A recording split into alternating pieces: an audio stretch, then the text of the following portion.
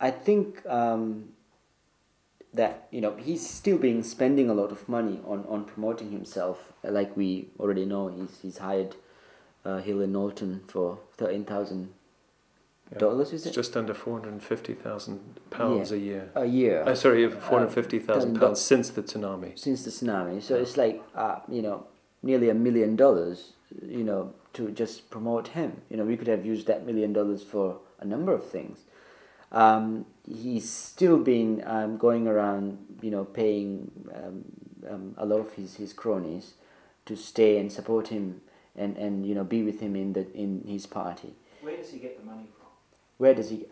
Well, I have, I mean, unconfirmed uh, reports and, and you know uh, sources that we can't really identify. The, we, we, we, we, we, we are told that the Arab uh, countries uh, tend to deal with him in a, in a different way than the Western countries. For example, if Britain wanted to give the Maldives 10 million pounds, it'll be on the news, it'll be um, accounted for. But for the um, Amir of some Gulf country, you know, 10 million, you know, you just send it over dinner, if you like, and, and Gayoom can quickly put in his pocket and, and then cash it whenever he wants. That kind of funds have gone from the Gulf, uh, the oil-rich countries, to the Maldives after the tsunami. That's a fact. We know that, but we don't know how much, who, and, and all that. So he, he probably has some money, some cash in his hand to play with, but not enough really to, to do the game that he wants to do, uh, because um, he probably wants to buy out everybody.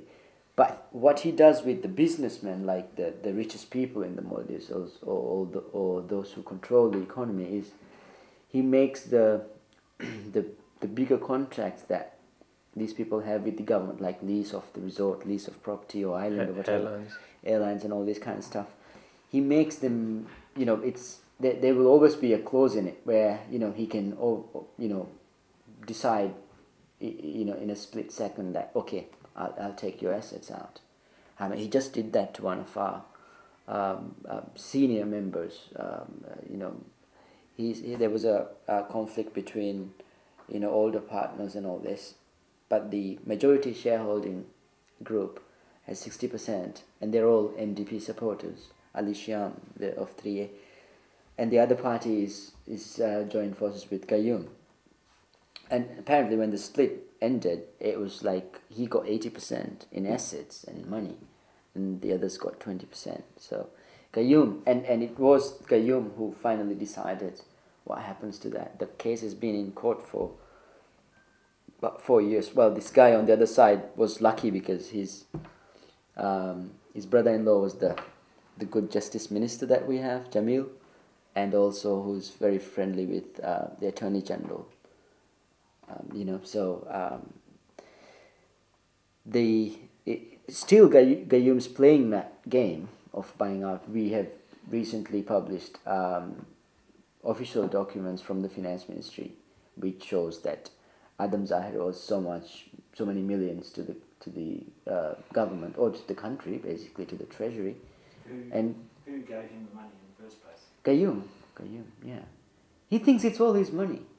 He doesn't. He's the chief executive of the Maldives, isn't he? Yeah. Maldives Lim- Maldives It- it- PLC. It, happens is- like this. It's quite simple. I mean, he does it properly. The president thinks that it's a good idea to um, give a loan of eight million to the commissioner of police.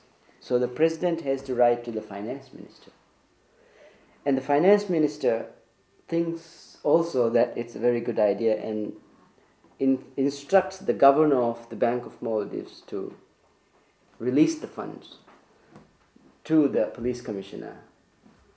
The funny thing is, the president is the finance minister and he is the governor of the Bank of Maldives. So, I mean, all the paperwork is there, you know. So, and so this guy gets 8 million or 10 million to build a big house and, you know, do whatever he wants and he's, he remains above the law. He's the chief of police and he doesn't care what the law says.